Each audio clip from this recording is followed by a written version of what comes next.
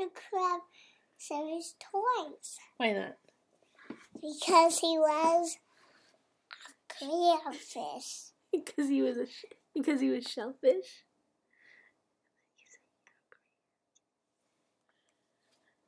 Um, crab.